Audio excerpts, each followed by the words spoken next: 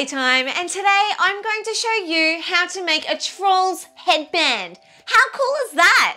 I've got pink, blue and purple and I'm gonna make three of them. So you can see what it looks like in all different colors. So for this activity today, you'll need some scissors, some flowers. I've just recycled some old like headbands and like hair ties. You'll also need a headband. I've recycled these ones too. These used to be my Easter Bunny ears and they all started falling apart. So I thought, rather than chuck them, let's make a cool headband out of it. So I've got those. You also need some ribbon. I've got um, the same colors as my material. So I can mix and match if I want to, or I can match it all together. Um, totally up to you. Just be creative. Um, I might actually match the colors as I go, but let's just have some fun and see what happens. And you also need some tulle or tutu material. So um, I got this from Spotlight in Australia, but if you've got a materials store near you, you could go there and see what they've got. I paid $3.99 a meter and I only used one meter of each color. Um, I don't think I'm gonna use all of it, but you know, I just thought better than running out. so let's get started and let's make a really, really cool Trolls headband. Woo! So the first thing you want to do is get your headband and your ribbon. I've chosen to go with the pink to match my pink tutu material. So what I'm going to, I'm trying not to use glue making this because I think, you know, if we can make it less messy, why not? So placing the ribbon up on your headband, start a little bit higher than the bottom and we're just going to start wrapping that around the headband. The reason why I'm going up higher and then starting down low so then that way it's really, really tight around the headband and it will just hold it into place. And you just want to wrap that all the way around the headband.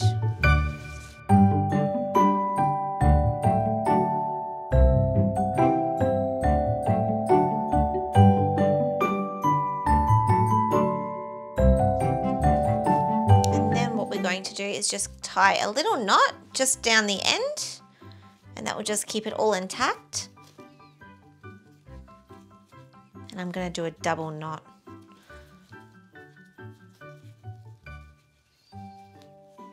There we go. We can just wrap that again and tuck it in. Then we're just going to cut the excess material off. And so there it is. So now I've got the pink ribbon around my headband, which makes it look pretty much brand new again. Um, now, once we've done this, we go straight into putting our material on there. So we'll just pop the headband aside and we'll start cutting up strips of our tutu material. So I'm just gonna fold it over.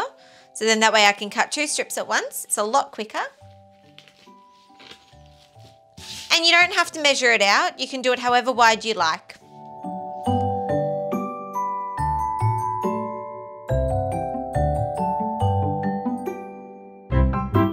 So here is my tutu material, my tulle, and that is now cut up into wide strips. Um, I'm just gonna pop them on the floor and I'm gonna show you one by one on how we're going to do this and what to do, just so it doesn't look too messy on the camera. So now we've got our strip of material and our headband. So now what we wanna do is fold the material in half and then we wanna pop it underneath the headband, halfway, pull it around so it meets up the top. So now you've got both of them up the top and there's a loop in one bit. And what you're gonna do is put your fingers through that loop, hold onto the other two ends of the material and you wanna pull that through. And then just pull it nice and tight, nice and tight, until it forms a nice tight knot onto the headband, like that. And we're gonna do that all the way around and it's going to make me look like I've got awesome troll hair. So let's keep going with that. And we just want to repeat it over and over until we have a lot of hair.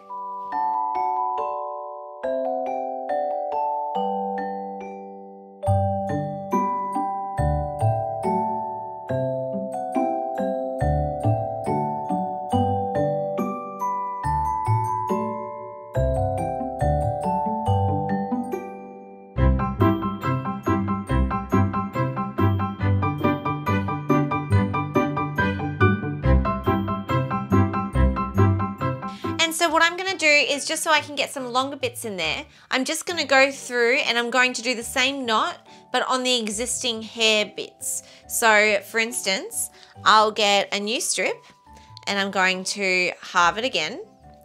And then I'm going to grab one of the hair strands that's already attached and I'm going to wrap it around just like you do with your shoelaces and pull it back through the loop and we're going to tighten it.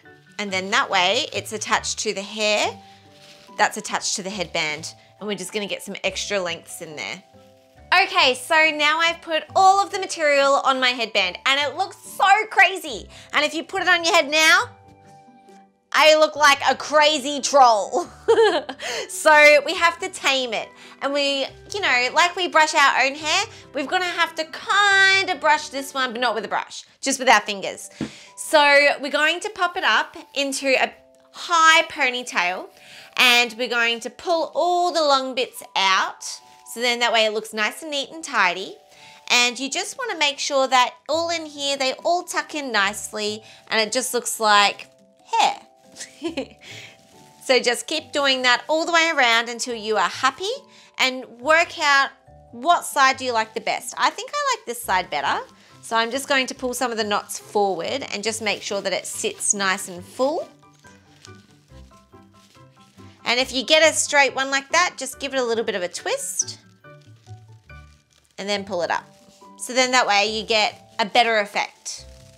So once you've done that, you now want to choose a ribbon to put around like a hair tie. So I've chosen some yellow ribbon that I had in my box and I'm going to now tie all of that material together so it looks like a nice bright hair tie. You can use a hair tie of your own if you want to, totally up to you. Um, but I'm just gonna use a ribbon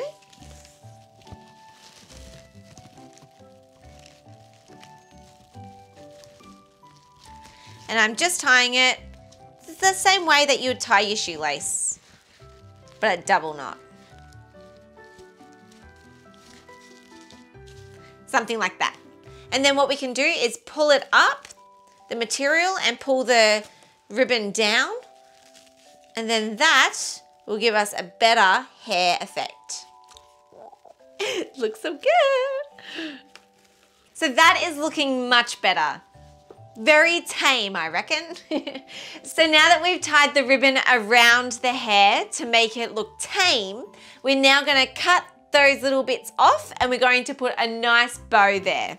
So using your scissors, we're just going to get rid of any excess material. Oops, oops, oops, oops, it's getting all tangled. And we're going to use our yellow bow again and we're gonna go around it, but a lot nicer this time. Okay, so using your ribbon, we've wrapped it around the hair. We just wanna measure it nice and even. So remember, we've gotta make a bow out of this and we'll cut down the ends or get rid of the excess ribbon. And we're now going to do a knot, just like you tie your shoes. So do a knot and then we're going to do a loop. Then we're going to run around the loop under the bridge and ta-da! We've got a nice bow. Well, we will when I'm finished. but what we want to do is just loosen and tighten. And that will just get it sitting perfectly. Okay, and there's our bow, a nice yellow bow in our beautiful troll hair. but it's not finished yet. The last thing we want to do is pop some flowers on there. So I've just recycled these from an old headband that I used to have. It used to sit like this. And it's got elastic all between them. Now what I'm going to do is I'm going to try and cut them so then that way I can use the elastic wrap it around the head, the headband and tie it on. And then that way we won't have to use any glue. So let's give it a go. So what I'm going to do is I'm going to pull some of this knot loose. Oh, just gotta find one. Here's one. Let me just pop my scissors in there just to loosen it a little bit, but I'm not cutting it. so I can find the where the hole is.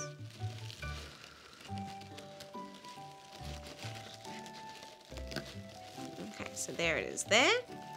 So now I'm going to hold that out and I'm going to feed that through. Pull it out the other side. And then we're going to tie it. So now I've got my nice little flower on my headband. Okay, so now that we've got the flower on and we've got the bow, the last thing that we want to do is just tidy up this mess up here. And all we have to do is using our scissors, we just want to cut this material on really, really sharp angles so it can kind of go into like points. And you just want to kind of like, you know, even half the width that I've done so you look like you've got a little bit more hair on uh, up there and, you know, just have a play with it so then that way it's a little bit more floppy. Otherwise, you know, it might look a little bit too stiff and it might look like material. So we don't want that to happen. So we'll just, I'm just gonna half mine just up the top, just so it looks a little bit more full. And they don't have to be neat. Just no one's going to see it really. It's just really giving it some texture.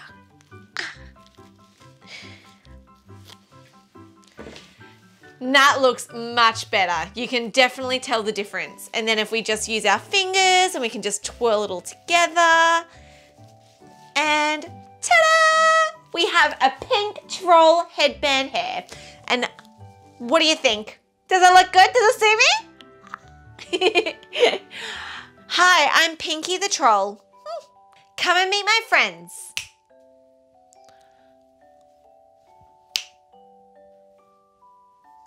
So now you've met my Smurf friends. I've got Pinky on my head, Bluey and Purple. So I don't know which one you like the best. I love pink, but comment below, tell me which one you like. Have a go at home. You'll do great and I would love to see what you've made on my Instagram. Tag me, Katie's Playtime, and I can see what you guys make at home, so it's so exciting. Thank you so much for watching my video. Thank you for watching how to make a Smurf headband. Ooh, looks so good. And don't forget to like, comment, and subscribe if you haven't already. And I'll see you in my next video. Bye for now. Bye.